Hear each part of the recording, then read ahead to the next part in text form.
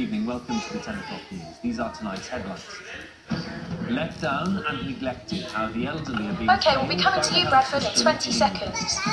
Dial a cheat, how the mobile phone... Standing by, Bradford, in 15 seconds. Get ready to read your And the cue. great melt in Antarctica. It's much Coming to you in 10, 9, 8, 7, But 6, first tonight, we have some breaking news. We go live to our special 2, correspondent.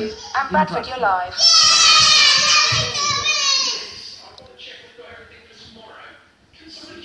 You, you not got to read yet. Go on, just say something then. You just have to do a report then on anything. Laurie, you're on screen. You're on. You're on. You got just to make a story up. Why are you just make a story up. Come on, a news story. A new star will appear here in a moment. We'll bring you more on that story just as soon as we have I think it. we And just. Bradford, we're off you now, back with London. Thanks I very think we're supposed to just make a story up.